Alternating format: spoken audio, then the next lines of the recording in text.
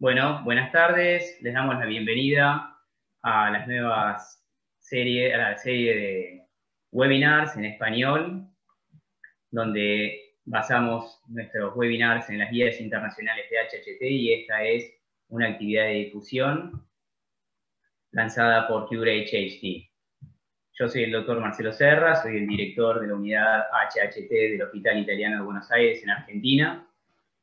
Detrás de escena tenemos a Nicole Sheffer, quien es la directora de programas médicos y profesionales de CureHHT, junto con el resto de personal de CureHHT, eh, provee la plataforma y todos los medios para llevar a cabo estos webinars y va a estar gestionando también nuestros box de preguntas.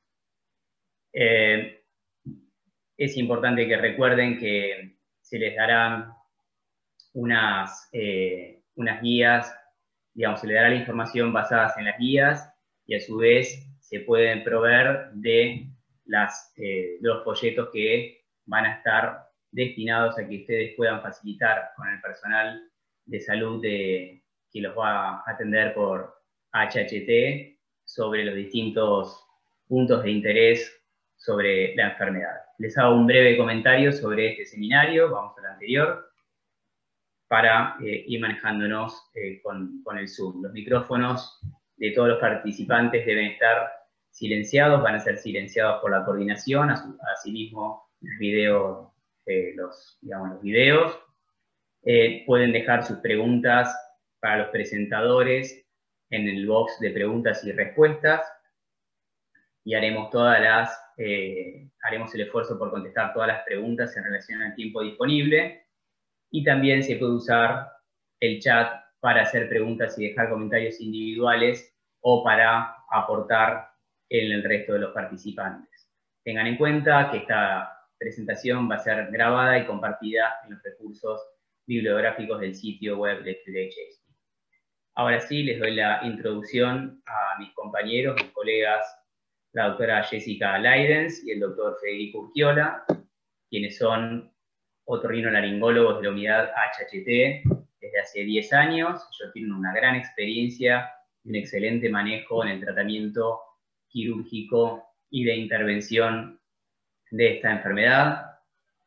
Y finalmente quiero resaltar que este webinar va a introducir y brindar conocimientos sobre los tratamientos de intervención quirúrgicos preventivos y sobre el sangrado agudo, no sobre el tratamiento farmacológico, el cual será brindado en el próximo webinar.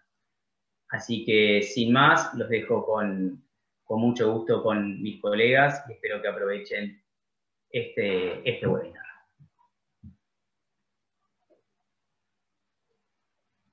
Bueno, gracias Marce por, la introducción. Eh, gracias a Cure HT por ofrecernos este espacio eh, y poder brindarle toda esta información a los hispanohablantes. Eh, les doy la bienvenida junto con el doctor Urquiola. Como bien nos presentó el doctor Marcelo Serra, formamos parte de la unidad HHT del sector otorrinolaringología del Hospital Italiano. Eh, nosotros atendemos pacientes de todos lados, o sea, de todo, el país y recibimos consultas tanto virtuales como presenciales, así que estamos abiertos a ofrecerles nuestra atención a los que necesiten. En principio quiero, como esto es, está orientada principalmente a pacientes, esta charla, pero eh, quiero hacer también un, repasito para ellos. La nariz está compuesta por el tabique nasal, que se encuentra en la línea media, que está formado por cartílago, y por hueso. Esto es en la línea media. En las paredes laterales tenemos los cornetes, bien, que en esa zona está irrigado por el sistema carotidio externo, que tenemos la rama efenopalatina, bien. Después también vamos a tener las arterias palatina mayor y la arteria del subtabique. Todas estas ramas van a confluir hacia la zona anterior del tabique, ¿sí? que es lo que se llama el área de Little o plexo de Kieselbach, que en esa zona es donde se van a generar las epistaxis anteriores. Después, el sistema carotidio interno, a través de la arteria oftálmica que viene por el ojo, nos va a dar las ramas etmoidales, ¿sí? que van a generar los sangrados, o sea, las epistaxis superiores, bien, que son las más graves junto con la de la fenopalatina, que se consideran en conjunto epistaxis superiores. En los pacientes con HHT que presentan fragilidad capilar, la, o sea, no es más frecuente tener una epistaxis posterior, sino que eh, tienen la misma frecuencia, pero al ser más débiles sus capilares, el sangrado es más abundante y de difícil control. Por eso es que la mayoría tienen más de varios minutos de eh, sangrado. ¿Qué les iba a mencionar? Entonces, en frecuencia no, no es que van a tener más episodios de sangrados posteriores, sino que es lo mismo y lo más frecuente sí es que tengan sangrados anteriores. Bien, entonces, nosotros hicimos una encuesta en todos los pacientes que forman parte de la unidad y les preguntamos qué es lo que les desencadena la epistaxis a ellos. El 30% coincidió que tanto el clima, el trauma y el estrés generan los sangrados. Dentro de estrés podemos ser por ahí eh, mayor tensión laboral o por ahí en adolescentes previo a algún examen, ¿sí? Entonces, todo eso tener en cuenta que puede desencadenar y es muy importante tenerlo en mente como para prevenir estos sangrados con los cuidados que vamos a mencionar ahora. Después, eh, los cambios de clima también generan esto y dentro de las otras eh, cuestiones que pueden generar tenemos las infecciones, los cambios de decúbito, esto significa que por ahí cuando pasan de acostado a sentado, bien, o se hacen movimientos bruscos, o si golpean, que eso es el traumatismo, o sonarse la nariz, ¿sí? Después tenemos que tener en cuenta que los alimentos también pueden influir en los sangrados. Todo lo que es el omega 3, que lo vamos a encontrar, por ejemplo, en el salmón, en el aceite de pescado, bien, o en los frutos secos, puede predisponer a tener más sangrados, al igual que todos los alimentos que son altos en contenido de salicilatos. Salicilato, para que ustedes lo puedan asemejar, es de donde, eh, o sea, a partir de donde se forma el ácido acetil salicílico, que es la aspirina. Bien, entonces, si uno consume alimentos que son altos en salicilatos, va a predisponer a tener mayor sangrado. ¿Cuáles son? Puede ser el café, las aceitunas, eh, los diferentes tipos de condimentos, entre ellos se encuentra el orégano, la canela, bien. Eh, para esto, si quieren saberlo, hay una página en internet en donde menciona todos los alimentos que tienen alto contenido de salicilatos, medio o bajo. Bien, es una información importante como para también eh, tenerlo en cuenta. Y los otros elementos que pueden generar mayor sangrado son los que tienen alta actividad antiplaquetaria. Esto significa que inhibe la adhesión de las plaquetas, que son las que van a formar el coágulo, inhibiendo el sangrado. Entre estos tenemos al vino tinto, al jengibre, al ginseng, al ginkgo biloba, al ajo, ¿bien? Entonces, lo que se sugiere es que traten de tener estas cuestiones en mente y eliminarlas de la dieta, o al menos reducirlas, ¿bien? Como bien estaba hablando Marcelo, eh, se generaron las guías internacionales de HHT. Estas se, reunieron grupos de expertos en HHT, entre ellos estaba Marcelo, y idearon todas las recomendaciones para pacientes portadores de la enfermedad. Y, y también generaron los checklists que se recomienda que todo paciente tenga su checklist antes de ir a una consulta médica. Dentro de este checklist, lo que vamos a encontrar es que eh, se les pregunta cómo clasificarían su sangrado, si es leve, moderado o severo, si el score de eh, severidad de epistaxis lo han registrado en el último tiempo y qué grado tienen. Ahora les voy a mencionar qué es eso por si no lo conocen. Y después, qué alternativas tendrían que considerar charlar con su médico, en este caso en relación a los sangrados. Como les mencionaba, el score de severidad de epistaxis es un score que nosotros nos sirve mucho como para evaluar respuesta a tratamientos. ¿sí? Lo que hacemos es, una, o sea, les generamos el score a partir de esta página, eh, entramos en la web en donde uno va completando qué frecuencia tienen los sangrados, cada cuánto ocurren estos sangrados, qué intensidad tienen los mismos, si requirió atención médica debido al sangrado nasal o si tuvo anemia por el sangrado nasal o si requirió transfusiones. Todo esto nos va a dar un score. Ese score se genera, o sea, se hace, se ingresa y por una cuenta eh, nos arroja un resultado entre 0 y 10. Según el número va a ser leve, moderado o severo. Nosotros lo registramos y eh, después del tratamiento se vuelve a hacer el mismo score como para comparar. Si se da una diferencia de 0,7, o sea que me reduce el número, consideramos que es un tratamiento que tuvo buenos resultados.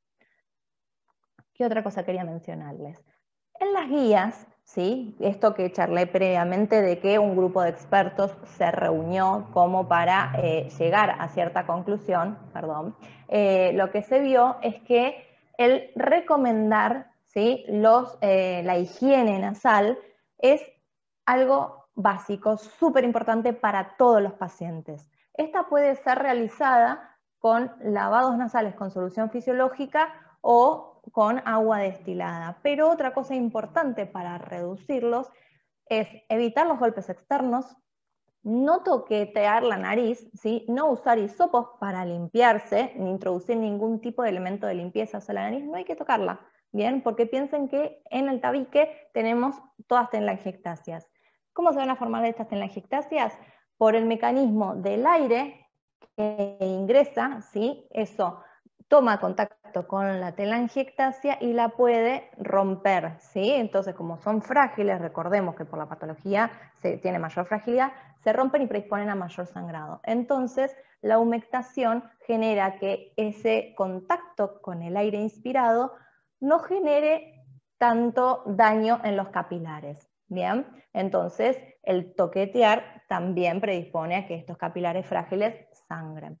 En el caso de que aparezca mucha mucosidad o pacientes que tienen rinitis, o sea, todos los pacientes pueden tener rinitis al igual que la población general, eh, se recomienda que si se tienen que sonar lo hagan suavemente, como para evitar generar mayor presión dentro de la nariz, y si quieren estornudar, obviamente se tapan la boca, pero con eh, la boca abierta para no generar mayor presión.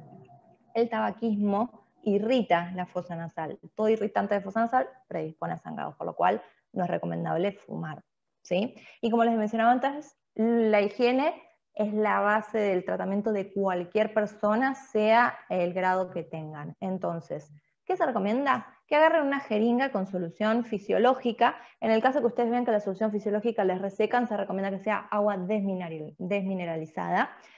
Llenan la jeringa, como vemos en la imagen, uno tiene que descender la cabeza y ahí aplicar toda la jeringa, evitando o sea, no tienen que apuntar al tabique, sino que tiene que ser hacia el lateral, ¿sí? La cantidad de veces que uno quiera, esto no tiene contraindicación, entonces si quieren poner varias jeringas en cada fosa nasal, es re eh, bueno, re positivo, porque eso va a limpiar adecuadamente la nariz. Esta misma recomendación nosotros lo hacemos a todo paciente que tenga mucosidad en la nariz, sea una cistocitis crónica, sea una rinitis crónica, todo lo que genere mocos, se recomienda limpiar. Y en los casos de pacientes con HST, el limpiar la nariz elimina todos los agentes externos que puedan estar presentes. Y también limpia y barre las costras, porque todo sangrado después evoluciona a la formación de costras. Entonces, si uno tiene limpia la nariz, esas costras no se van a resecar y no van a traccionar de los capilares debilitados, entonces evitan nuevos sangrados. Lo otro es que tenemos que humectar la zona. ¿Cómo lo vamos a hacer? Poniéndonos vaselina líquida o sólida, lo que a uno le quede más cómodo. A veces la líquida uno no termina tragando, entonces no es tan confortable, así que ahí se recomienda la sólida. Con el dedo uno lo coloca en cada lado del tabique dos veces o más. Nosotros siempre antes que les recomendamos que antes de que exponerse a una fuente eh, de aire frío o calefacción o aire acondicionado o por ejemplo cuando salen a correr en el aire libre, también colocarse siempre vaselina como para mantener humectada la fosa nasal y evitar que el roce del aire dañe las telangiectasias. La calefacción también, entonces, en ciertos casos, a la noche, como no se puede colocar eh, mientras duerme la vaselina, es utilizar los humidificadores de ambiente. Eso va a permitir que no se genere sequedad de la nariz, porque, por ejemplo, muchos pacientes nos refieren que al despertarse tienen el sangrado. ¿sí? Entonces, de esta forma, si uno ya durante la noche se expone a un ambiente húmedo, se reduce la probabilidad de sangrados. Ahora sí, si un paciente no responde, o sea, las guías lo que nos dicen es que Si un paciente no responde adecuadamente a la humectación, o sea, la tiene que continuar haciendo, pero se puede indicar agregar el ácido tranexámico. Como bien dijo Marcelo, en esta charla no vamos a hablar de fármacos, sino que eso lo vamos a dejar para un webinar más posterior. Así que, pero bueno, es una opción, siempre y cuando no tenga contraindicaciones para tomar el ácido tranexámico. Entonces, la mayoría de los pacientes tienen sangrados agudos y empiezan a sangrar y no saben cómo manejarlo. Bien, entonces lo que se recomienda es que eh, traten ¿sí? de eh, presionar la nariz. Lo importante es que acá hay hueso, no vamos a lograr nada presionando en esa zona. Nosotros tenemos que presionar en la parte baja donde está el cartílago. Bien, pueden si quieren colocar un algodoncito húmedo con ácido tranexámico el agua oxigenada no se recomienda porque genera una reacción térmica local y termina generando más daño, ¿sí? Así que o lo humedecen con agua o con ácido tranexámico o con algún vaso constrictor, que puede ser o nafasolina o rinogel, lo que a ustedes les convenga, pero colocan y presionan y bajan la cabeza, porque si uno tira la cabeza hacia atrás, empieza a tragar la sangre y después el sangrado genera malestar estomacal, puede predisponer a vómitos, etc. Entonces, siempre recordar bajar la cabeza y presionar en la parte blanda de la nariz. ¿Bien? Suele ser autolimitado, así que con presionar más tiempo de, lo esperable. Por ejemplo, a veces hay pacientes que tienen que estar 10 minutos presionando la nariz, pero de esa forma podemos lograr frenarlo. También otra posibilidad es que te contemos con materiales reabsorbibles. Siempre se recomienda que se usen materiales reabsorbibles. No se recomienda usar gasas ni nada que pueda permanecer, resecarse y generar más lesión en la mucosa nasal. Por ejemplo, si uno usa algodón contra exámico, no lo dejen ahí dentro de la nariz, sino que frena el sangrado y ya se retira, porque cuando se seque puede pegarse en la fosa nasal. Bien, entonces, siempre materiales reabsorbibles. Lo mismo que si acuden a una guardia o una consulta, soliciten que se usen materiales reabsorbibles como para no tener que retirar el taponaje. ¿Bien? No se dejen cauterizar con nitrato de plata o galvano cauterio porque eso genera más daño térmico local y eh, lo que va a predisponer es a la aparición de nuevas telangiectasias, que es lo que se llama un second hit. ¿sí? Entonces, acá en la imagen podemos ver diferentes materiales. Esto es el Surgicel, después el Espongostan, que es como una esponjita que se convierte en un gel y eso ayuda a eh, frenar y eh, frenar el sangrado. Entonces, si llegamos al punto que no se frena el sangrado y tenemos que hacer un trasponaje, en las guías también nos recomiendan que el paciente tenga en cuenta esto y obviamente nosotros los otorrinos que hay que usar un taponaje que lo más recomendable es que sea inflable, ¿sí? que uno lo puede introducir desinflado y después inflar dentro de la fuerza nasal, que genere presión pero leve, y esté recubierto de carboximetilcelulosa, que es eh, un componente que no daña la mucosa nasal. ¿bien? Y uno para retirarlo le saca el aire y ahí lo retira. Entonces el daño que se genera dentro de la nariz es muchísimo mejor que con un taponaje con gasa. ¿bien? Entonces, evitar las gasas, evitar las esponjas expandibles que no son reabsorbibles y un exceso de algodón. Nos ha pasado que hemos encontrado en la fosa nasal de los pacientes algodones perdidos. Bien, entonces eso es re importante que todo lo que ingresa salga, porque si no después tiene acción de cuerpo extraño. Y como les decía, preferimos todos los tapones que tengan, estén recubiertos de geles. Un ejemplo es el Rapid que ese es el nombre comercial, que puede o no presentar tapón. Bien, entonces siempre tiene que estar bien lubricado. Esta es la imagen del rapirrino. A veces en los pacientes que por ahí no tienen acceso tan rápido a un centro de salud, les recomendamos que en casa tengan el rapirrino, ¿sí? Y si ustedes quieren, nosotros podemos instruirlos de cómo colocarlos. A grandes rasgos, uno lo que tiene que hacer, como vemos, es algo recto, entonces tiene que ir en paralelo al piso de la fosa nasal. Uno por ahí tiene la idea que la fosa nasal va hacia arriba, pero no. O sea, uno lo tiene que colocar en paralelo al piso de la fosa nasal. Bien, si es uno posterior va a tener dos mangueritas, que es una para el balón posterior y otra para la parte anterior. Y si es el simple, tiene una sola, siempre con aire. Bien, entonces lo que va a lograr esto es que al inflarse va a tomar la forma de la fosa nasal y generar compresión sobre las telangiectasias que estén sangrando y así reducir el sangrado. Entonces, los pacientes que tienen epistaxis a repetición, que no es el sangrado agudo que recién estamos comentando, que les dijimos, que tengan que ponerse el algoncito, frenar, bajar la cabeza, si usar algún vasoconstrictor. No, hablamos del caso de pacientes que todos los días tienen algún sangradito, alguna gotita, entonces ahí ya vamos a pasar a otra instancia. Bien, entonces tengan en cuenta que hay una diversidad de tratamientos nasales como es una enfermedad genética, si uno es portador de la, enfermedad, ninguno va a ser curativo, pero siempre, o sea, nuestro objetivo es que mejoremos la calidad de vida del paciente, reduzcamos la cantidad de sangrados y también mejoremos eh, la condición clínica del paciente para que no tenga anemia y a su vez que no tenga requerimiento de transfusiones. Entonces, eh, esa es la idea principal de, tener un buen cuidado. O sea, todo como les, les recuerdo, se basa en la higiene nasal. Pero bueno, después de la higiene nasal, si no termina de mejorar, ahí sí pasamos a los siguientes tratamientos que, de nuevo citando a las guías, puede considerarse cuando no mejora la humectación un tratamiento puede ser el láser, la radiofrecuencia tipo coblation o la electrocirugía, que se recomienda más bien bipolar, ¿sí? no, no tanto el monopolar, y la escleroterapia. ¿Está bien? Todos estos tratamientos ¿sí? Eh, son transitorios. Bien, entonces por ahí vamos a tener que aplicar más de uno, pero aplicar uno no impide que hagamos otro de, de estos que les mencioné, que ahora vamos a tratar en detalle acá menciona que tienen en común todas estas técnicas que pueden generar perforación septal. La realidad es que hoy día nosotros eh, sabemos que espaciando el tratamiento de una fosa nasal y de la otra, esto se evita. Bien, siempre el tratamiento va a ser de una fosa nasal, nunca se puede tratar los dos lados a la vez para evitar esto mismo que les mencioné en la perforación.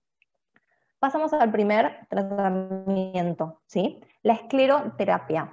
Este tratamiento, algunos pacientes seguramente lo han recibido, nosotros lo hacemos con el polidocanol al 0,5%, ¿sí? En la bibliografía también está descrito con el STS que en esos casos algunos reportes indican que puede haber eh, pérdida visual, con el polidocanol eso no está descrito, que es el que usamos nosotros, ¿bien? Es un procedimiento sencillo, es algo rápido de realizar que la ventaja que tiene es que se hace en consultorio, no necesitan anestesia y tampoco internación. Bien, entonces nosotros agendamos un día y podemos realizar el tratamiento. Siempre se empieza por la fosa nasal que al paciente le genera mayor incomodidad. Bien, y eh, como les dije antes, para evitar perforaciones de un solo lado por vez. A los tres meses, si el paciente sigue con epistaxis muy marcada o, que genera mucha alteración de la calidad de vida, se plantea hacer el tratamiento de la otra fosa nasal o por ahí se puede tratar la misma fosa nasal. Bien,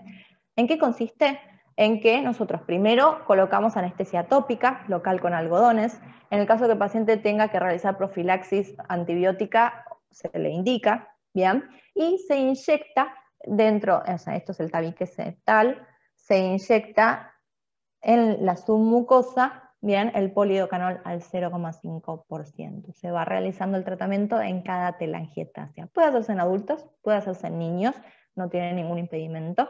Y el efecto no es inmediato. ¿Por qué? Porque el polidocanol lo que genera es la esclerosis. Es el mismo material que se usa, ¿vieron? Para las piernas, para las varices de la pierna. Bueno, es lo mismo. Entonces uno lo que busca es esclerosar la telangiectasia como para que no tenga tanta circulación sanguínea y reducir el riesgo de que se dañe con la entrada del aire y tenga más sangrados. Entonces, por eso hay que darle tiempo para que empiece a generar el efecto y se pueden realizar la cantidad de cesoñas que sea necesaria. Eh, generalmente eh, los pacientes requieren más de una sesión como para notar una buena eh, respuesta. Y después em, de escleroterapia, bueno, eso que es el que hacemos en consultorio. Ahora lo que quiero hacer es presentar al doctor Urquiola, que Marcelo ya lo presentó. Él va a seguir hablando de todos los tratamientos que tenemos disponibles Em, para realizar en este tipo de pacientes y después nos va a mostrar un algoritmo, o sea, el algoritmo que nosotros ideamos para tratamiento. Bien, así que eh, Fede, si quieres habilitar tu, micrófono y tu pantalla, ahí está. Dejo de compartir para que vos puedas compartir. ¿Cómo estamos? Buenas noches. Muchísimas gracias por, por estar aquí escuchando la, presentación. Eh, bueno, yo lo que les quería describir a continuación es continuando con los tratamientos ablativos. Eh, existen diferencias ¿sí? entre eh, los diferentes mecanismos, digamos, de ablación. Ablación es retirar, lo, que haríamos es retirar la telangiectasia. Lo que presentó Jessica respecto a, a lo que es la, escleroterapia, la escleroterapia, como pusimos ahí, actúa recién al cuarto quinto día. O sea que nosotros introducimos la medicación dentro de la mucosa y eso poco a poco va haciendo que llegue menos flujo sanguíneo a la telangiectasia. Quiero remarcar eso porque eh, los tratamientos de láser, tratamiento de coblation, tratamiento de, de cauterizaciones, actúa de un modo con más directo sobre la mucosa. Y sí, lo que requieren estos métodos es eh, ir a una sala de procedimientos, o sea, debemos realizar probablemente eh, o sala de procedimientos o un ambiente quirúrgico, porque la mayoría de nuestros pacientes lo que hacemos es o una sedación o en muchos casos anestesia general. Es por eso que ya es otro tipo de pacientes que dejamos eh, o lo indicamos en casos en que la enfermedad es mucho más grave se han probado otros, otros tratamientos eh, y no dieron resultados. Entonces, pacientes sí tienen que hacer prequirúrgico, hacer una anestesia general y ahí hacer el tratamiento. Durante el tratamiento, en algunos casos hay un sangrado que los detenemos inmediatamente. ¿sí?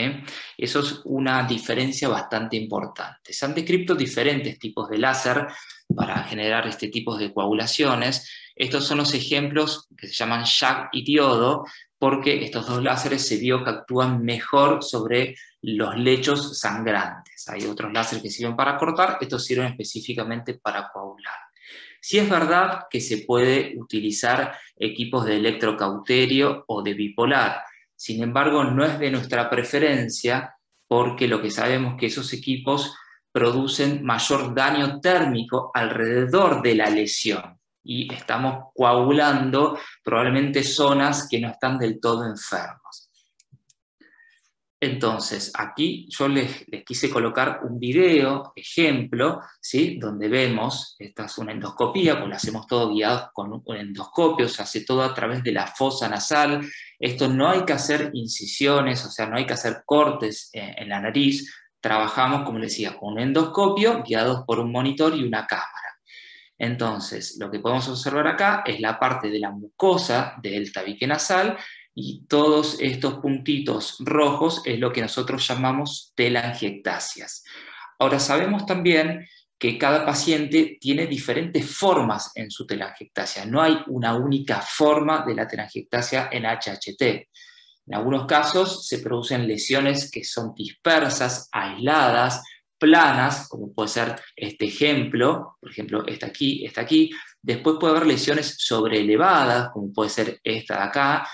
Puede haber lesiones eh, que van creciendo y, ser hasta únicas. Y sabemos que no solo se producen en la mucosa del tabique nasal, sino que también pueden aparecer en la parte lateral de la nariz, en el piso de la nariz o incluso en el techo de la nariz es muy importante para nosotros cuando se viene a la consulta no solo eh, saber la frecuencia y la intensidad del sangrado que están teniendo, que eso siempre es bueno tener un registro y esto lo tratamos de remarcar, sino que en muchos casos nos ayuda ver cómo detienen el sangrado y nos ayuda incluso su opinión respecto a dónde, dónde están sangrando. Nos ha pasado realmente que coincide muchas veces cuando nos dicen me sangra alto, me sangra atrás, me sangra abajo, eh, que muchas veces correlacionamos eso endoscópicamente y podemos observar que la lesión más importante se encuentra muchas veces donde los pacientes nos indican eh, que, creen que está viniendo el sangrado. que a veces es muy difícil de encontrar. Fíjense que todo esto está lleno de telangiectasias y uno trata de coagular las lesiones que son eh, más sangrantes, que producen más hemorragia. Entonces, este es un pequeño video para demostrar, digamos, la acción que puede tener el láser sobre la lesión. Esta es la fibra, esta es la luz. El láser es un tratamiento que actúa por una luz, actúa con un calor determinado que es importante, pero creo que la gran ventaja del láser es que es eh, muy puntual. Fíjense que uno puede ir directamente y coagular esa telangiectasia, después ir a otro sitio y coagular otra telangiectasia.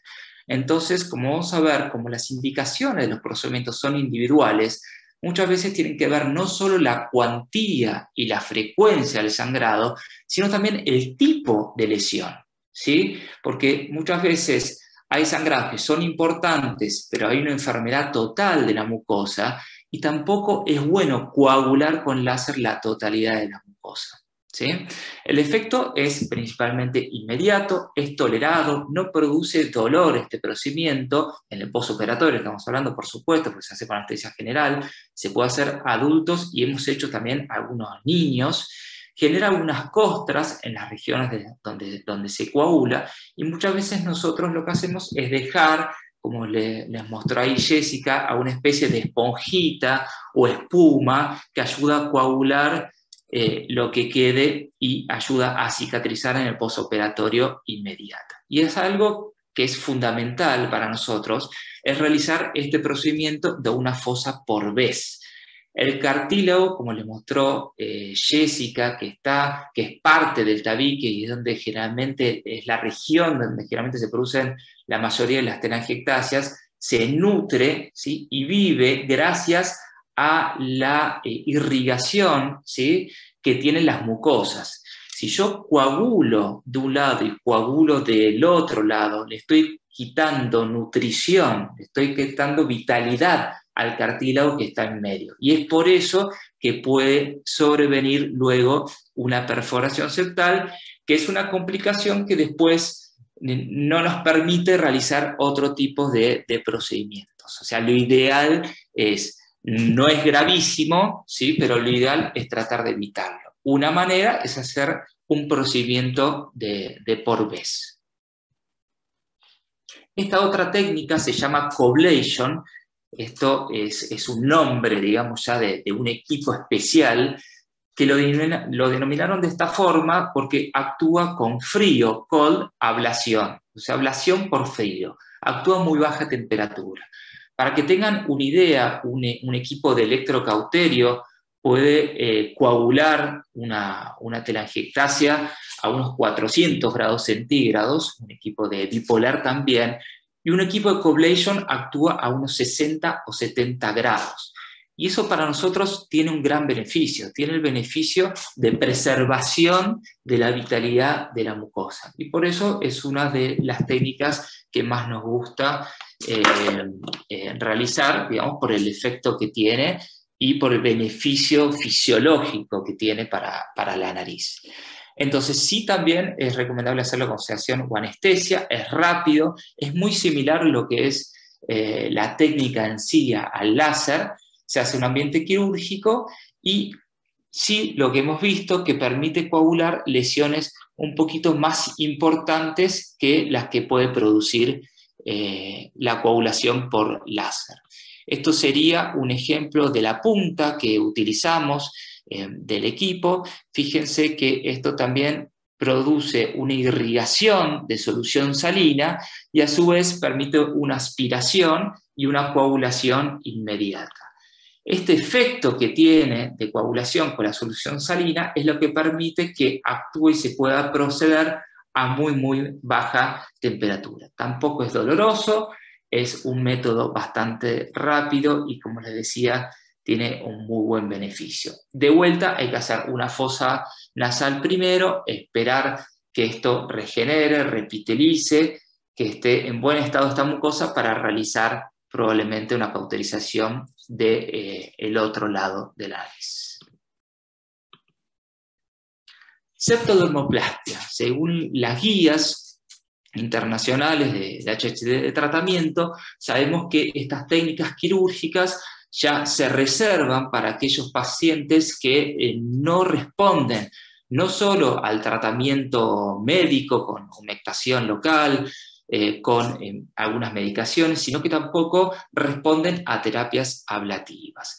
Y muchas veces en el examen que, hacemos visual eh, o endoscópico en el consultorio de otorrino, también lo que vemos que coincide en el cual el paciente tiene una enfermedad de toda la mucosa, que abarca absolutamente toda la mucosa y uno no puede diferenciar con claridad si es esta u otra lesión, sino que toda la mucosa se ve muy roja, muy, rojiza, eh, hasta bordó de un aspecto, porque ya hay una mucosa enferma en su totalidad. ¿Qué significa la septodermoplastia? Es el reemplazo de la mucosa enferma por piel. Entonces, piel del propio paciente. Si hay que hacerla con anestesia general, si necesita un ambiente quirúrgico, acorde a la evaluación anestésica, ¿sí? Eh, podrá hacerse de manera ambulatoria, muchas veces requiere una internación de 24 horas, pero sí lo que vemos que al reemplazar y, al extirpar directamente todas las lesiones, tenemos muy buenos resultados a largo plazo. Sí, tenemos que decir, y es importante, que sangrado eh, con score cero es muy difícil de lograr. Entonces, siempre le explicamos al paciente que lo que nosotros queremos es disminuir la intensidad y hacer que los sangrados sean cada vez más espaciados. Eso sería respecto a el, control de la epistaxis. Desde ya mejorar el laboratorio, mejorar la calidad de vida, por supuesto. ¿sí? Este tipo de técnica, como les decía, no puede realizarse, por ejemplo, si existe perforación del tabique nasal. Por eso es importante tratar de preservar el cartílago de nariz para siempre tener esta posibilidad o esta opción de tratamiento eh, a futuro. Este es un ejemplo, una foto que les puse como si tuviese eh, un paciente con muchas telangiectasias, muchas lesiones sobre la mucosa. Esta es lo que sería el dorso de la nariz, esto sería la punta de la nariz, esto es el piso de la nariz, y yo estoy viendo la nariz de costado. Estoy viendo de costado, como si no tuviese la pared lateral, y viese de frente ¿sí? el costado del tabique nasal. Entonces, ¿qué es lo que hacemos? Con un equipo especial que se llama microdebridador, vamos extirpando la totalidad de las lesiones, generalmente tratamos la parte de adelante, la parte del medio, también puede tratarse el piso y parte de la pared lateral, se pueden extirpar, retiramos una muy delgada capa de piel del muslo con un equipo especial que se llama dermátomo y tapizamos con esa piel el lugar donde nosotros retiramos la mucosa enferma. Por eso uno puede tapizar el tabique, eh, parte del piso, incluso parte de la pared eh, lateral. Si es verdad que en esta técnica que da muy buenos resultados a largo plazo, hay algunos efectos que son molestos para el paciente, como pueden ser la generación de costras y un olor feo por tiempo, por un tiempo que incluso puede durar meses y eh, hemos llegado a tener a un caso de, de un año o hasta dos años ¿sí? con, este inconveniente. ¿Pero por qué? Porque estamos reemplazando, digamos, un tejido muy particular, un tejido respiratorio por piel. Entonces el organismo tiene que hacer un intercambio, ¿sí? Y digamos, adaptar, adaptarse la nariz a que por ahí va a entrar el aire y el aire va a contactarse directamente con la piel. Sin embargo, cuando uno pone la balanza entre el beneficio que se produce, digamos, la disminución de epistaxis y el efecto colateral, como puede ser un olor feo, alguna costra, realmente eh, vale la pena en los casos indicados. Y aquí quedaría entonces un ejemplo de cómo colocaría la piel septodermoplastia. Por último, el cierre de la fosa nasal, acorde a las guías eh, internacionales, aquellos pacientes que, por supuesto, no respondieron al tratamiento de eh, médico de humectación local, ni a la terapia ablasiva, ni a, dosis altas de ácido tranexámico eh, y probablemente muchos no respondieron tampoco a la septodermoplastia. Entonces, en estos casos, ¿qué es lo que se hace? Se hace cerrar, se cierra la fosa nasal. ¿Y por qué esto funcionaría?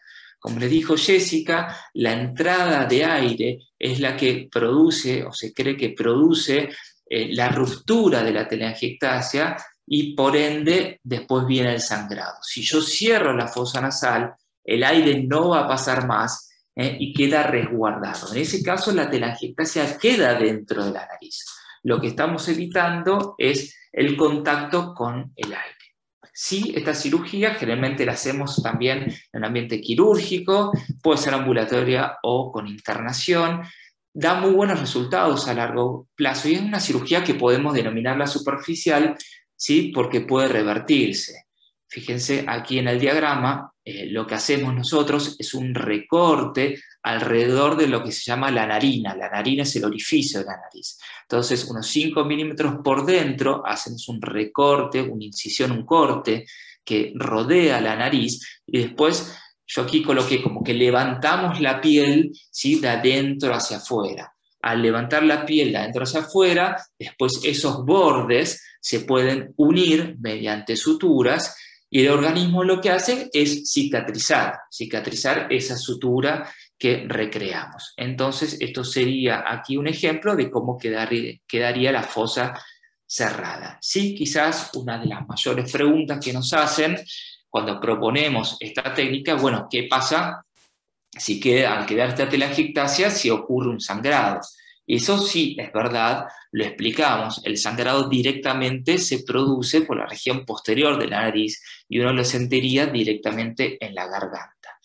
Ahora, digamos, para tener en cuenta, yo les puse aquí, este procedimiento es reversible, o sea, llegado el caso eh, de una urgencia en el cual eh, exista un sangrado que requiera algún taponaje, como le mostró Jessica a modo de rapirrino, este, e, esta cicatriz rápidamente puede abrirse y puede colocarse inmediatamente ¿sí? un taponaje. Eso creo que es la ventaja. Sin embargo, eh, nuestra experiencia, por ahora no hemos tenido ni un caso en el cual hemos tenido que revertir el procedimiento. Y existen eh, otro tipo de tratamientos ¿sí? que se pueden hacer si siguen o continúan algunos sangrados antes de llegar a revertir esta cirugía. Este es el algoritmo que queríamos traerle. Yo creo que es muy importante, más allá que, que uno pueda charlar este algoritmo, es que realmente cada caso es eh, individual, cada caso es único. Eh, y generalmente Marcelo nos deriva al paciente para que nosotros le evaluemos en consultorio otorrino, tenemos que ver la lesión de manera endoscópica o microscópica, tenemos que charlar con el paciente y no queda ahí. Después nos volvemos a poner en contacto con Marcelo y discutimos cada caso para ver, ver qué puede ser lo mejor. ¿sí? Entonces, esto como para que uno tenga una idea cómo uno va eligiendo los procedimientos, ofreciendo los procedimientos en base a la evaluación clínica, la morbilidad, alteración de calidad de vida, los grados de SADIC o los scores, si es leve, muchas veces con higiene o medicaciones eh, perfectamente puede controlarse el sangrado.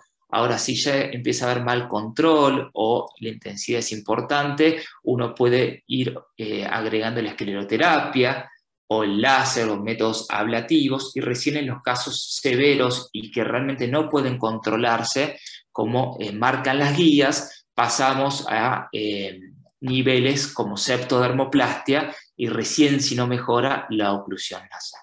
¿sí? Esto es algo orientativo, eh, siempre lo que uno tiene, nosotros tenemos y evaluamos es tratar de ser lo menos invasivo con el procedimiento, que realmente mejore el sangrado nasal. Es bien importante eh, y remarcamos el uso de material reabsorbible en sangrados agudos, porque muchas veces uno tiene un sangrado agudo, va a una clínica, va a un hospital, eh, hay un emergentólogo, hay algún médico que quizás no está tan familiarizado con esta enfermedad, entonces quiere utilizar algún taponaje eh, tipo gasa y eso a veces puede ser contraproducente, esto es importante tratar de remarcar que se use material que se reabsorba después con algún lavado y siempre adecuamos el tratamiento del sangrado, digamos, que, le llamamos como crónico, el sangrado crónico, ¿sí? a cada paciente. Así que bueno, queríamos agradecerle también en nombre de Jessica, a Cure HHT y a todos ustedes aquí por estar escuchándonos eh, esta noche. Bueno, muchísimas gracias, doctores Federico Urquiola y Jessica Leidens, eh, por tan bonita presentación.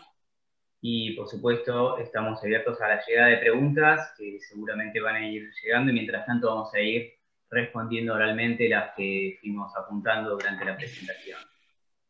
Una de las primeras preguntas se refiere a cómo tratamos los procesos alérgicos en contexto de HHT y epistaxis.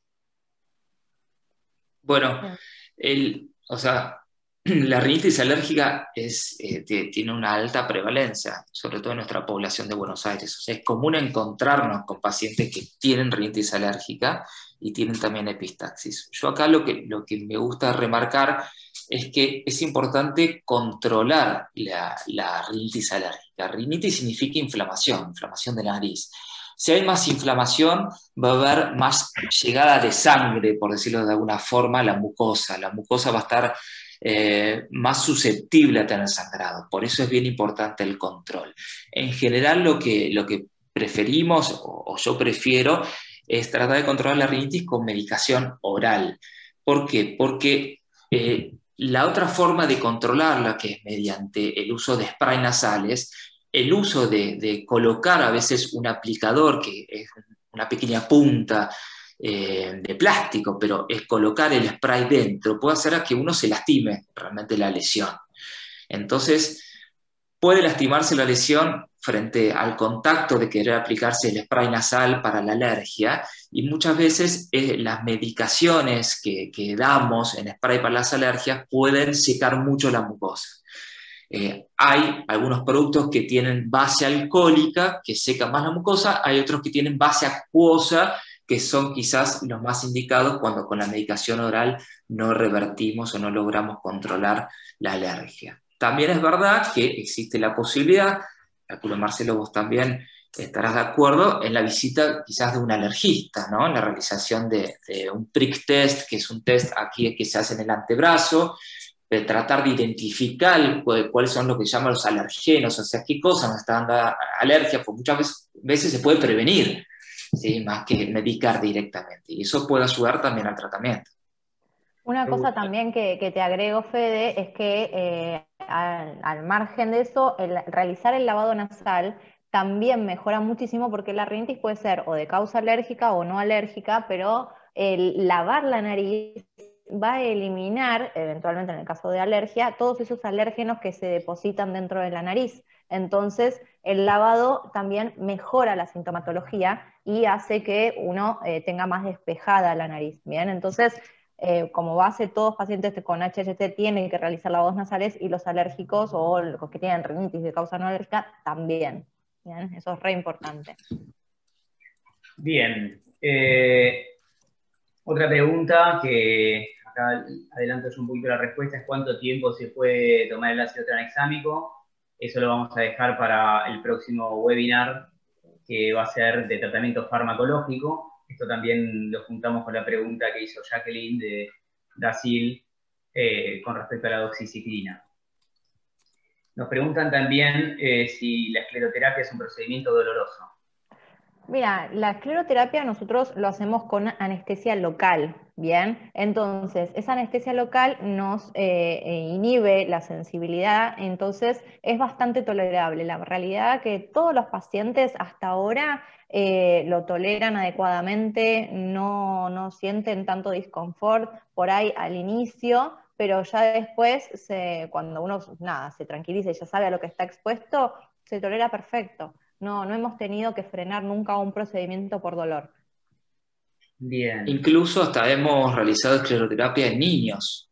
Sí. Yo, recuerdo una, paciente de, nueve años y, lo toleró sin ningún problema con una anestesia local tópica y un algodón dentro de la nariz. O sea, eso es importante como para considerar que realmente eh, muy bien tolerado. Sí, sí. Eh, se puede hacer una cosa que no mencioné, es que la esclero se puede hacer en la nariz y también hemos hecho escleroterapia de lesiones de telangiectasias sangrantes en el labio, en la lengua, ¿sí? en la mucosa yugal, pero en los dedos también. Pero tener en cuenta que si una telangiectasia no sangra, no se trata, ¿bien? No es que eh, porque tengo una telangiectasia eh, voy a hacer un tratamiento. Si no sangra, no se tocan. Bien, eso es importante también tenerlo en cuenta, pero se puede hacer en varias partes del organismo. Bien, em, también pregunta una paciente preocupada porque los sangrados son con contenido de los coágulos y la presencia de coágulos en el sangrado nasal son normal. ¿Cómo? No, no entendí bien, Marcelo. Que o sea, sangra, o sea, no es líquido, sino que sangra con coágulos. Es normal eso. ¿Por qué? Porque significa que está funcionando adecuadamente tu sistema de coagulación. Entonces, eh, despreocupate que no, no es que tengas algún otro problema, es lo que realmente sucede. A veces se van acumulando los coágulos dentro de la fosa nasal y, bueno, lógicamente se van expulsando. También como contarás vos, Marcelo, quizás también el uso de medicación, justamente el ácido tranexámico puede hacer formar más coágulos, ¿sí? Y uno puede tener sangrado tomando el ácido tranexámico y notar que, que expulsa más coágulos, pero... Sí, coágulos más adherentes, quizás más, más fuertes. Sí, más adherentes. Algunos probablemente quedan, ¿no? Algunos quedan y, se expulsan de a poco. Recordemos que alrededor de la nariz también tenemos cavidades que se llaman senos paranasales. Y a veces cuando hay sangrados, la misma sangre se acumula en estas cavidades paranasales. Después el cuerpo las va eliminando, pero claro, se va eliminando como sangre ya que pasó unos días. Y eso también eh, puede, puede suceder sobre todo ese sangrado fue importante. Ahí no, es por la coloración de, esos coágulos. Son coágulos a veces que pueden llegar al color casi negruzco. Entonces eso es, eh, es normal, es porque se envejeció, por así decirlo. Siempre por eso recuerden que hay que enjuagar esos coágulos y sacarlos de a poquito, sin entrar en la ansiedad de arrancarlos, porque, ¿no? Ahí vienen. Eso es muy importante, lo que es humectar la nariz eh, y eliminar eh, lo que son las costras eh, también siempre charlamos la importancia de sacar las costras porque a veces esas costras llevan infecciones, ¿no? Que se ha visto que, a veces alojan bacterias que promueven también el sangrado. ¿Mm? Eso lo podemos mechar con otra de las preguntas que preguntaron si se puede usar el eh, ácido fusico con betametasona, ese fusin B. El ácido fusílico es un antibiótico y la betametosona es un corticoide que desinflama. Entonces, por esto mismo que menciona Federico de las costras, a veces se generan eh, infecciones locales que por la misma infección se genera una inflamación de la mucosa nasal y esa inflamación predispone a que las telangiectasias tengan mayor sangrado. Entonces, el usar el antibiótico local, la verdad es que hemos visto que da muy buenos resultados porque elimina este factor inflamatorio. Así que eh, está bueno eh, como tratamiento, no como tratamiento permanente, ¿sí? no es para usar toda la vida, obviamente, pero eh, da buenos resultados. una pregunta que ya la han respondido, que nos pregunta María Noel, si el láser es para siempre o si eventualmente hay que repetirlo, bueno, ningún tratamiento definitivo en principio, ¿no? Como que necesita continuidad. ¿Mm? Exactamente, lo, que incluso está evidenciado eso con publicaciones, que se sabe que aproximadamente un tratamiento láser o ablativo son seis meses de duración, una septodermoplastia dos años, pero es muy individual, sabemos por nuestra experiencia que es individual, pero para uno tener una idea. La escleroterapia también, lo, lo que tiene ventaja la escleroterapia, que bueno, al hacerse en consultorio, ¿sí? Eh, se puede hacer de manera rápida, de forma repetida, eh, y no, produce como, esta lesión, por llamarla, en la mucosa. Entonces, en aquellos casos que están indicados, muchas veces de nuestra preferencia, y por eso quizás notan que la remarcamos, pero porque le vemos esos beneficios, ¿no, Marcelo? Seguro. obviamente hay casos que, ya no se puede, eh, hay telangiectasias muy grandes que apenas al tacto sangran y eso en consultorio no sería bueno porque ese, ese paciente tendría que terminar con un taponaje, no es la idea tampoco. Entonces, si nosotros vemos que la telangiectasia es muy grande, muy importante, ahí sí vamos a recomendar ir a un tratamiento ablativo en quirófano.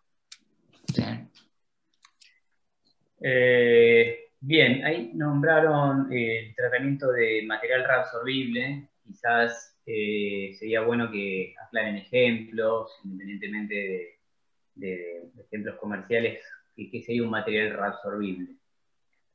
El espongostán es un material reabsorbible que, o sea, a la simple vista parece una esponjita, bien, que uno, o sea, cuando lo coloca en la nariz y se humedece, pasa a tomar una forma de, gel, ¿sí? Y eso tiene factores de la coagulación y predispone a que frene localmente el sangrado. El otro eh, reabsorbible es, o sea, también semejante al espongostán, pero que forma más una espuma, es el, el Surgiflow.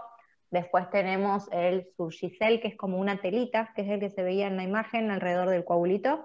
Eh, es una, tela, tiene una matriz, que también cuando toma contacto con los fluidos ¿sí? o con la sangre eh, es hemostático, ¿bien? Eh, después, bueno, dentro de eso hay un, montón de variedad. Y em, sí, después no, sé si me estoy olvidando de alguno, Fede, hay un montón, en verdad, esos son los principales que usamos. Ok. Em, otra pregunta está dirigida a cómo, cómo se maneja el tema de los hisopados para la pesquisa de COVID.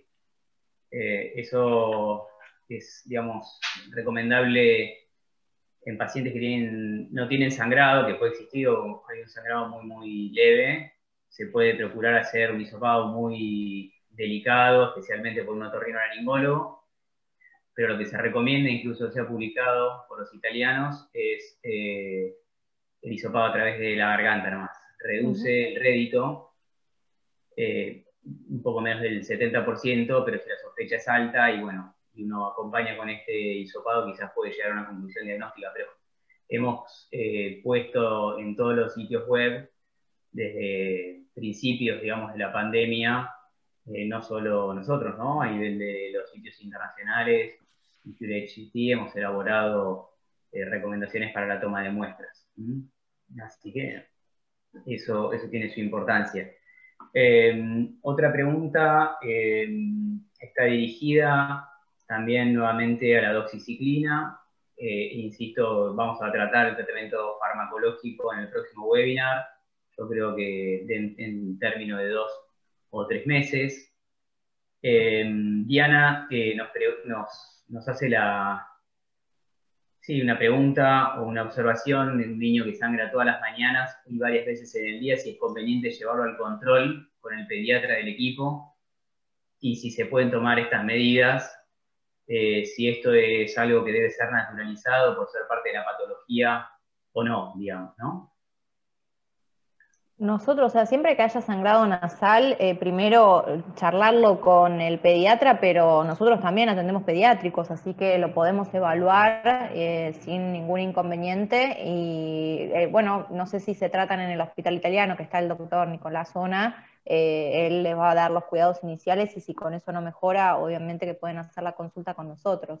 Eh, no, no, yo no diría naturalizarlo, o sea, obviamente todos los nenes eh, tienen predisposición al sangrado, pero en este caso, como hay una alteración genética, el que tenga sangrados recurrentes y que el nene por ahí se traumatice o se toque la nariz, eso puede predisponer a que aparezcan más telangiectasias. Entonces, es muy importante instaurar la cultura de la hidratación y la humectación desde el nacimiento, les diría. O sea, parece exagerado nacimiento, pero eh, desde que uno tiene el diagnóstico, ya tiene que empezar a hacer la humectación, porque eso a largo plazo, el tener humectada la nariz va a predisponer a que la formación de telangiectasias sea menor, ¿bien? Y tenga mejor calidad de vida, que es lo que nosotros buscamos.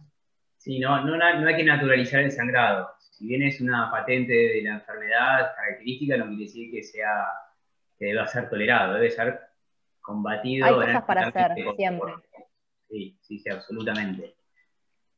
Em, una pregunta hecha por Diana. Dice, ¿cuánto tiempo de hemorragia debe transcurrir para considerar consultar a un hospital? ¿Cuánto tiempo? Eh, no, bueno, eso es muy variable, ¿no? Uno no puede hablar con tiempo, porque quizás hace poco tiempo, pero es una hemorragia masiva, de una intensidad importantísima, entonces ahí puede haber poco tiempo. Eh, realmente lo, que nosotros vimos en estos 10 años de eh, unidad es que eh, la mayoría de los pacientes conocen su sangrado, conocen qué, es el sangrado habitual, el, sangrado diario, el sangrado que, pueden controlar en su casa, como decía Jessica, apretando la nariz, colocando una gota de vasoconstrictor. Y tomando alguna medicación como ácido tranexámico, y aquel que lo sobrepasa. Yo creo que ya cuando eh, el paciente nota que está sobrepasado por, eh, por, ese sangrado, que nota que ha apretado, ha hecho todo lo que hace habitualmente y esto no se detiene, bueno, hay que concurrir. ¿sí? Creo que no hay que dejar tampoco pasar mucho tiempo, eh, porque bueno, uno eh, también puede tener otras consecuencias clínicas, ¿no? Algunos pacientes pueden incluso hasta desmayarse por, tener estos sangrados. Entonces, cuando uno ve que no es lo que está ocurriendo habitualmente, no es, uno lo trata de contener y se sobrepasa, ahí creo que es momento de consultar. Totalmente, no, no, dejar, decimos siempre, no estirar la cuerda hasta el final porque es a veces entre la descompensación circulatoria y la necesidad de hospitalización, transfusión de urgencia, etcétera, etcétera, y, un sangrado que puede controlarse, hay un límite muy, muy chiquitito. Así que atentos a los sangrados severos, y como decía el doctor Urquiola, no depende tanto del tiempo, sino de la, de la severidad del sangrado. Y también desde qué se parte, ¿no? No es lo mismo sangra todos los, todos los días, 10 minutos, y de repente al otro día se sangra 30, 40 minutos. Ese tiempo, ¿no? no es que se acumula, pero uno cuenta con una reserva de glóbulos rojos menor e incluso de un volumen sanguíneo menor. Entonces, quizás en, la seguidilla de una racha de sangrado diarios o muy frecuentes, un sangrado corto puede terminar por descompensar o, o ser la gota que rebalsa el vaso hacia una anemia muy severa o un estado circulatorio comprometido. Em, y creo también, Marcelo, que es importante, disculpa, eh, que justamente en esta época de, pandemia y COVID, que a veces uno tiene como más miedo de, concurrir ¿no? a un hospital, bueno, la importancia ¿no? que no, no dejarse estar, ¿sí? Me parece que con los equipos de protección, los cuidados, los protocolos que, ya están bien instaurados eh, en los hospitales, uno es preferible ir a una sala de emergencia, a un servicio otorrino, a, a, clínica, que dejarse estar, porque esto también lo hemos visto, ¿no? Como la falta de consulta por miedo a contagiarme, pero bueno, puede ser contraproducente después una hemorragia importante, ¿no? Y una descompensación. Sí, sí, lo vemos con, todas las enfermedades y más si está tratándose de una urgencia, realmente es importante que, no se dejen pasar sangrados severos de ya. Eh, otra pregunta que hace Daniel es si luego de los tratamientos ablativos hay revascularización y si no reaparecen las telangiectasias. Sí, bueno, sí, sí. Eh, sí, justamente sucede eso. Sí, claro, donde, uno realiza la, ablación, eso, eh, el epitelio, que es, digamos, la, mucosa mismo, se llama epitelio de la nariz, eh, vuelve a generarse y ahí al regenerarse hay posibilidades de que vuelva a surgir una telangiectasia. Por eso es que los tratamientos no, son a largo plazo indefinidos. ¿eh? Por eso vuelve a sangrar uno porque vuelve a aparecer la lesión. No la misma, quizás al costado, quizás eh, abajo, más grande, más chica, pero sí reaparece. Bien, eso, eh, digamos, desde el punto de vista de la Sí, recordemos que es una enfermedad genética, ¿bien? Entonces, todo paciente con esta enfermedad genética, o sea, digamos que tienen su información que eh, el vaso se va, a estar mal formado, entonces va a predisponer a la aparición de telangiectasias. El, tratamiento no inhibe la formación de nuevas telangiectasias. Claro, el ablativo, por eso luego la, idea, digamos, de los tratamientos siempre es tratar de encontrar tratamientos que eviten la formación de telangiectasias eh, con, de, una forma muy aceptable, digamos, ¿no? con una buena aceptación en cuanto a la complejidad farmacológica, efectos adversos, costos, aceptabilidad, seguridad y demás, que es un poco en paralelo a los tratamientos como para tratar de frenar lo que ya está, tratar de retrogradarlo farmacológicamente también es una estrategia, sobre todo que nos importa mucho en el tubo digestivo, que es el sitio donde nos complica mucho los tratamientos ablativos y tienen poca efectividad. Ya lo charlaremos en su momento. Eh, bien, eh, tenemos, vamos a hacer dos o tres preguntitas más por una cuestión de tiempo. Eh, acá Paulín pregunta si esta enfermedad saltea generaciones, que el padre es paciente HHT, que los hermanos tampoco tienen, pero la hija sí, ha presentado algunos sangrados muy ligeros. Esto tenemos un webinar de generalidades donde se pueden revisar bien el tema de la herencia y la genética, que es el, primero que vimos en español, que está en YouTube y en la página de CureHHT. Em, no se saltea generaciones, habría que ver si eso no es una herencia o es un sangrado ocasional en niños. Es muy probable, perdón Marce que te interrumpo, pero todos los niños y más de seis años es re frecuente que tengan sangrados. O sea, eso no implica que tengan la patología. Y como bien dijo Marcelo recién, no se saltea generaciones. Entonces, es probable que, eh, nada, tenga alguna conducta o, rascado o alguna otra cuestión o alguna inflamación o lo que fuere, pero es poco probable que si ninguno de ustedes tiene la enfermedad, eh, o sea, es poco probable, o sea, imposible que la haya heredado. Exacto, hay que confirmar que ustedes no la tengan, digamos, ¿no? Así que padre de este niño madre no tengan la enfermedad fehacientemente, porque a veces se asumen como que no, pero cuando uno lo revisa, quizás no tienen epistaxis, pero tienen telangiectasia, así que hay que estar seguros de eso también y se recomienda una, consulta. Em, luego, eh, otra pregunta de María Noel es si las telangiectasias en algún momento eh, se detiene su formación o si eh, siguen formándose y desarrollándose durante toda la vida. Bueno, lamentablemente se forman. Y está estudiado que a medida que, uno tiene más edad, hay más formación de telangiectasias. Eh, o sea, se ha visto que quizás los chicos tienen menos cantidad y un adulto mayor tiene más cantidad, más densidad de telangiectasias. Eh, tampoco es que esa telangiectasia va a crecer y, va a obstruir la nariz, por decirlo así, ¿no? Eh, como les decía, hay diferentes morfologías, diferentes formas de la telangiectasia, son muy particulares. Eh, también eso va a que, eh, sobre todo en los casos de los chicos, a veces podemos hacerle microscopías y, tratar de diferenciar si es una, una dilatación varicosa común eh, de los niños o ya hay una forma más típica de la enfermedad, ¿no? Pero bueno, se siguen desarrollando, lamentablemente.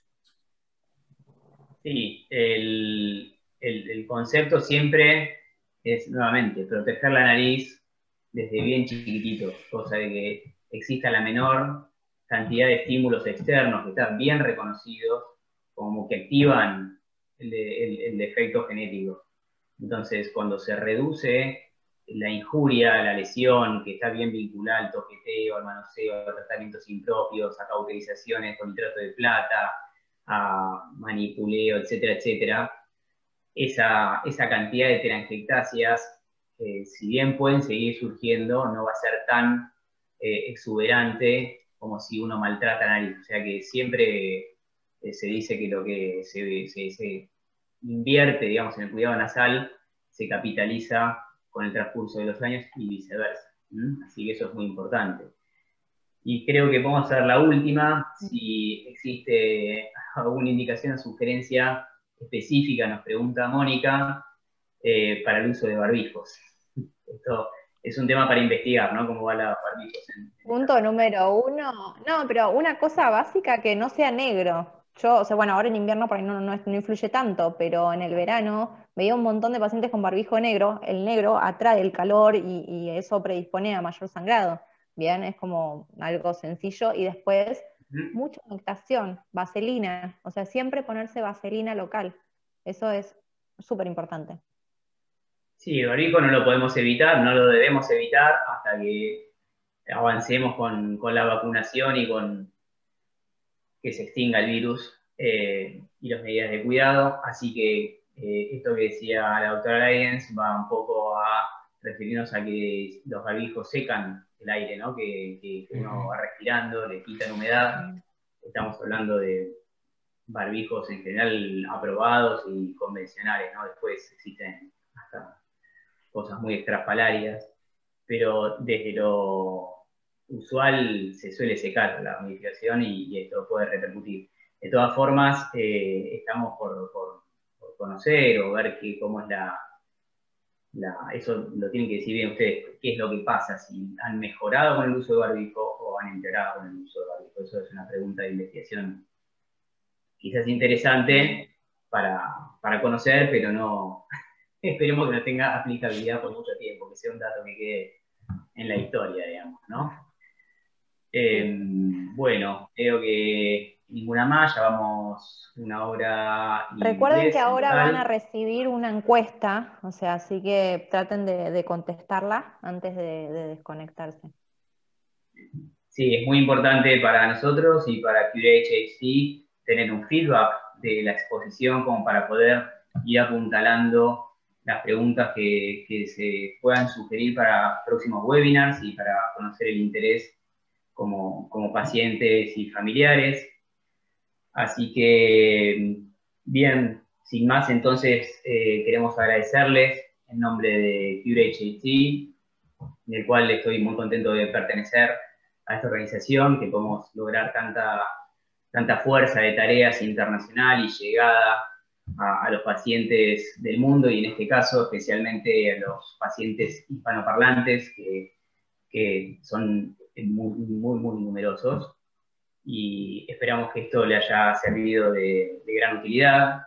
Em, otra cosa que reiteramos, eh, también he trabajado en la traducción de las guías, los checklists o las guías de, de cotejo y recomendaciones que, son una suerte de folletos en los cuales está muy bueno que ustedes lleguen a la consulta con un checklist de cada tópico que corresponda, eh, con los ítems de interés como para ir preguntando y charlando con, los especialistas e ir llevando en conjunto lo mejor y prolijamente la enfermedad y, lograr la mejoría de la salud y calidad de vida de todos.